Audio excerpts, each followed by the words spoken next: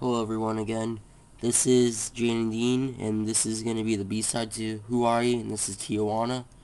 It's a overdub of on the song Little Old Lady from Pasadena by Jan & Dean, just different words sung to it. So hope you enjoy it.